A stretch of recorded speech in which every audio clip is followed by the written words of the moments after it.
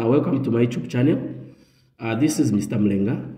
So I want us to look at question 16. Okay, uh, this is a question that is coming from functions. Okay, now the question reads: Given that uh, f of x is equal to 5x plus 4 over 5, and g of x is equal to x minus 1, find question A function inverse of x. Okay. Then B, they want you to find the function inverse of negative 2. Then C, they want you to find the function function of g, x in its simplest form. So the last one is a composite function. Okay, so how can we answer uh, these questions? Let's check. So I'm going to start with question A right here. So they want you to find the function inverse. So first write the function for x, function of x, which is 5x plus 4 over 5. Now from here, to find the function inverse, introduce um, any variable, okay? So in this case, we're going to introduce y to replace the function of x is equal to 5x plus 4 over 5. Now from here, what's next? Make x the subject of the formula. So the way you can make x the subject of the formula is, this is a fraction, this is not a fraction. So divide by 1 and you close, multiply. So um, 1 times 5x plus 4, you get 5x plus 4 is equal to y times 5, you get 5y. So here you want to remain with x. So this 4 will come this side, okay? So I'm going to have 5x is equal to 5y. This is a positive number. It comes this side will be negative 4. So to have x this side, you are going to divide by 5.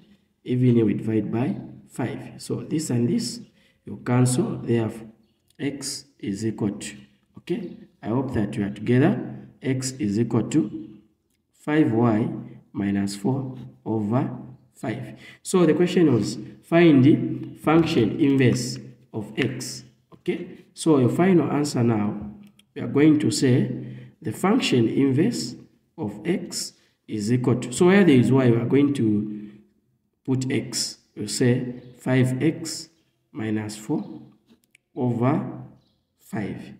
Okay, so this is our answer to question 1.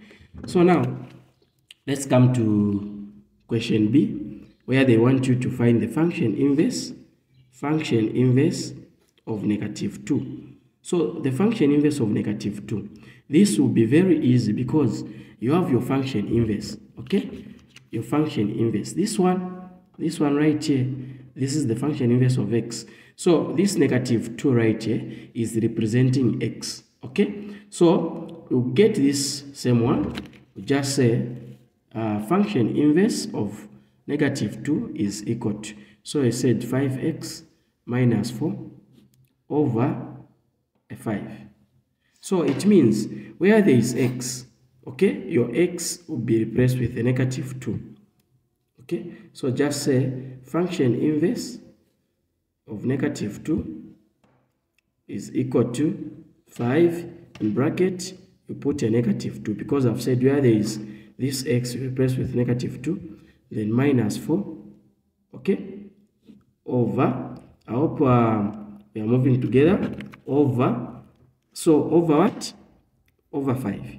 So from here, the function inverse of negative 2 will be 5 times negative 2. Okay, that will give you negative 10. Not so. So this will give us negative 10 minus 4 over 5. So from here, we can say negative 10 minus 4, it will be negative 14 over 5. So our answer, we can leave it as a mixed fraction where we say 5 into 14 because there are two times. Okay, then we are going to have a remainder of 4 over 5. So this is our answer. So I do hope that we are moving together. Let us now look at the third question. So our last question, they want us to find uh, f of g x in its simplest form. So remember I said this is what we call the composite function. So under this composite function, you have the function of f and the function of g, okay?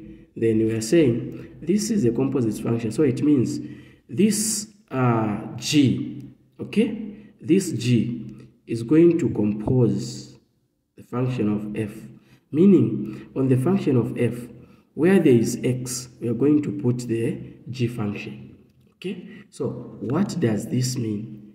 This means that, okay, this means that, uh, let me just answer it on top. I think you can see. I'll write C, okay.